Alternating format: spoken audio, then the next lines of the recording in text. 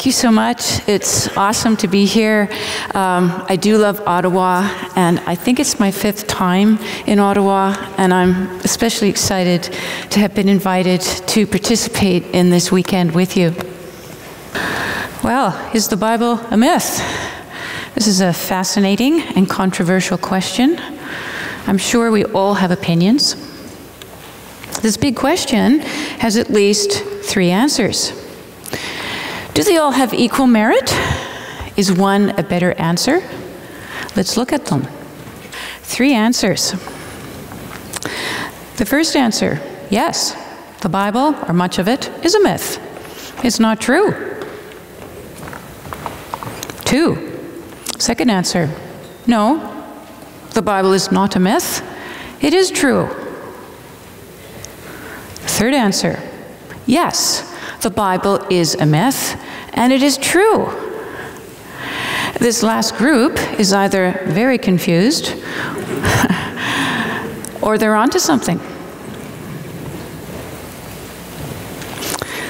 Answer number one the Bible is a myth, it's not true. This group of people sees the world through the lens of scientific naturalism or materialism. They assume the supernatural does not exist. They assume that everything has a natural explanation. Creation stories predate scientific understanding, we know better now. And God, if He does exist, cannot intervene in human history. All thinking modern people understand this, they say.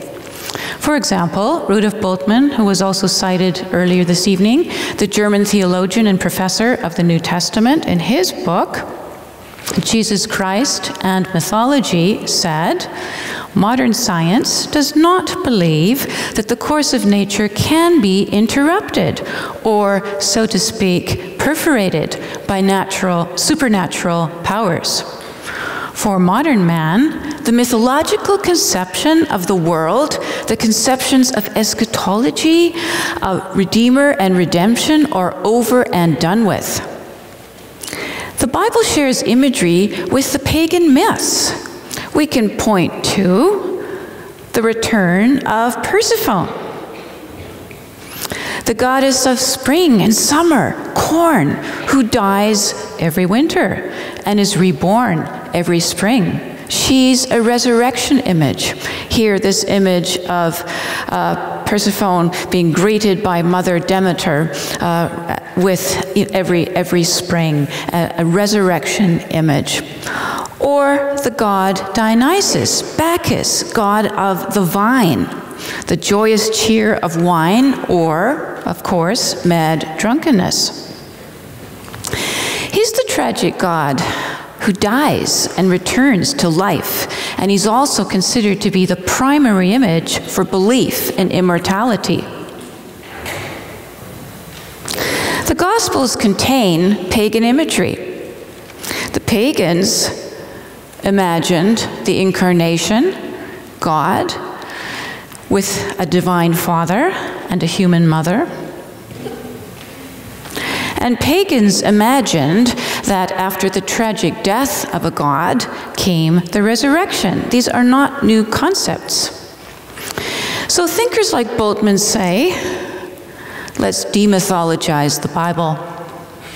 Let's separate fact from fiction. Let's separate the historical Jesus from the fictitious stories of the supernatural. This rests on the assumption that all miracles are fiction, like the pagan dying God and resurrection stories. A contemporary uh, representative of this kind of thinking, Derek Murphy, authored this book Jesus, Potter, Harry, Christ. Yeah, really. It's true. Um, it's the, it, this book is the 2011 winner of the best religious nonfiction. It's always good to know what people are reading or what people are told they should be reading. Uh, now, Murphy, like uh, Bolton, Bultmann, has the same thesis that because there are similarities, it is fiction.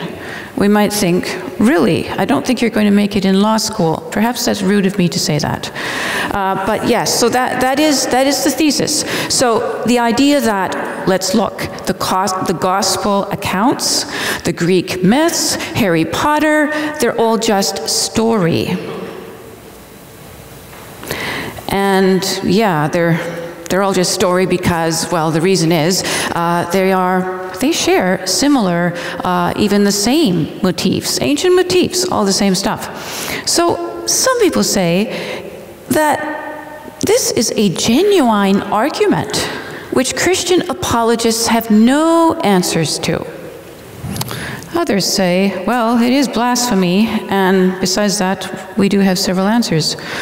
Um, perhaps some of us would like to answer such skeptics by quoting Hamlet, who said to his friend, There are more things in heaven and earth, Horatio, than are dreamt of in your philosophy. However, C.S. Lewis was really quite sympathetic to naturalists. He ought to have been. He was once one. C.S. Lewis thought it was very difficult for all moderns, whether Christian or not, all of us. Uh, it's very hard for us to shed naturalist assumptions. In his book, Miracles, he wrote, We all have naturalism in our bones. And even conversion does not at once work the infection out of our system. Its assumptions rush back upon the mind the moment vigilance is relaxed. Let's turn to answer two. No. Uh, the Bible is not a myth, it's true. Everything happened just as the Bible says it happened. This group of people sees the world through the lens of biblical authority. The Bible is the Word of God, it is not a man made myth. You can find it all on the map of Israel.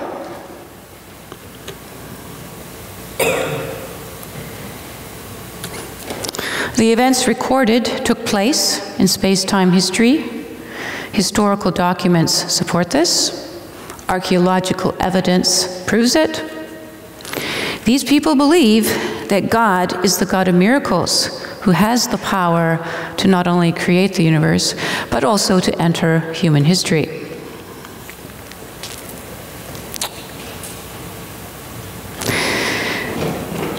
The pagan myths, on the other hand, make no historical claim. That would be a big difference.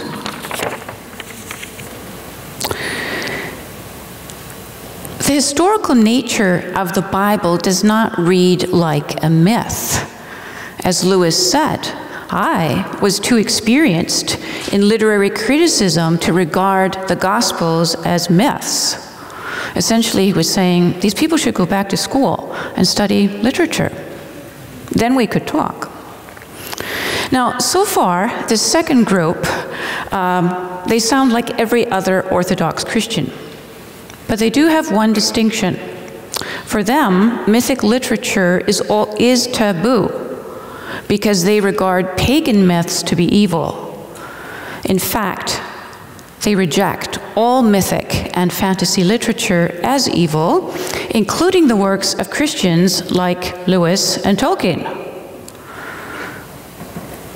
They ask, why then do Christian writers like Lewis mix pagan imagery with Christian motifs? Fauns? Magicians? The god Bacchus? That's evil. For example, in Narnia, Lewis, that great Christian saint, Lewis has the Prince Caspian dancing with the fauns. These people say, these stories should be shunned by all Christians.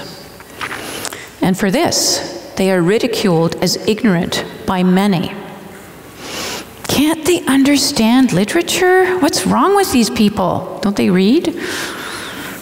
They only read the Bible. That's not literature. It's like, okay, I think you all should go back to school. Um, In their defense, I believe these Christians are justly worried about some fantasy literature. Much of it is dark. In my opinion, they are also justly worried about neo paganism and witchcraft.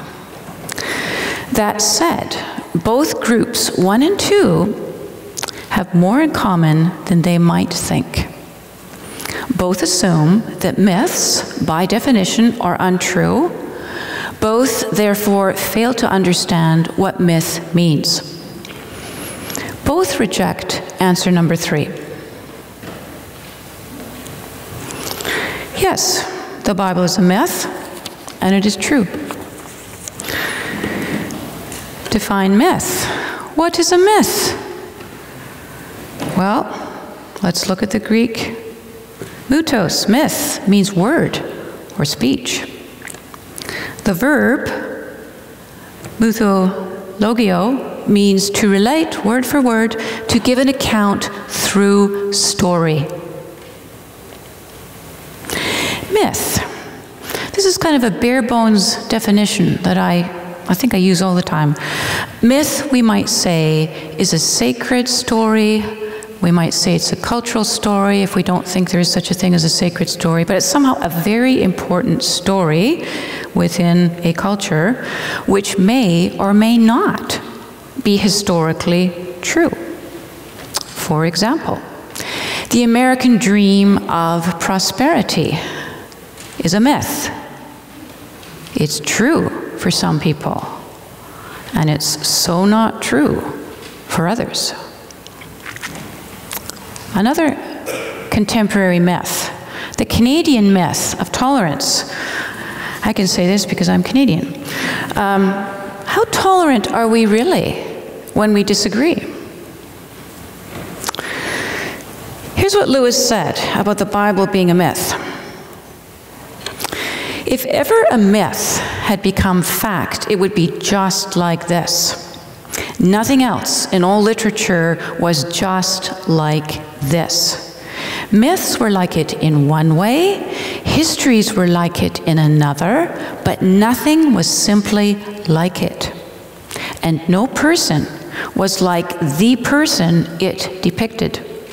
As real, as recognizable, not a God, but God. Here, and here only, in all time, the myth must have become fact the Word, flesh, God, man. Similarly, Lewis famously said, The heart of Christianity is a myth, which is also a fact. By becoming fact, it does not cease to be myth. That is the miracle. The marriage of heaven and earth perfect myth and perfect fact. Should we be nervous about pagan Christs? No, we shouldn't be. Lewis said we must not be nervous about parallels and pagan Christs. They ought to be there. Would be a stumbling block if they weren't.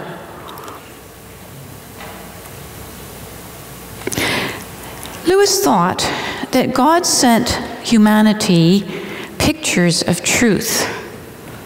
And perhaps we ought to think about this in terms of God sending um, pagan humanity, uh, not the original chosen people, but the rest of us, pictures of truth, of the dying and rising God. However, we have distorted these pictures. They've awakened our imaginative desire for eternity. And that is why Lewis so freely put Bacchus and Silenus in Narnia. When Aslan returns, the pagan gods help to grasp the great joy. The pagan longing for joy, aided by alcohol, so dangerous outside of Christ, is redeemed when the true God of the vine, Aslan as the Christ figure, is revealed. As Susan says, as they are watching Bacchus and Silenus and the wild girls, she says, I wouldn't have felt safe with Bacchus and all his wild girls if we'd met them without Aslan. Lucy answers, I should think not. In Lewis's view, because the ideas of the dying and rising God and the great celebration are familiar humanity is better able to grasp when it actually happened. Jesus breaking bread at Emmaus after the resurrection. The God of wine and corn has come to earth. Does it matter that the Bible is true myth? The Hebrew psalmist writes of God as telling us to listen as he speaks to us in parables and explains mysteries from days of old. That's Psalm 78, verse 2. And Jesus, as we know, preferred to speak in parables, to tell stories the in the Gospel of Matthew, uh, Matthew 13, we hear uh, the disciples ask, Well, why do you tell stories? And Jesus answered, I tell stories to create readiness, to nudge the people toward receptive insight. Here's why this matters. Mere descri descriptions of God if that's what we have, that's looking at God from the outside.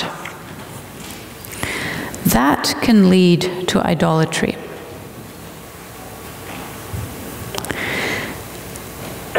The Bible, God's story, invites us inside to experience Him and to have relationship with him.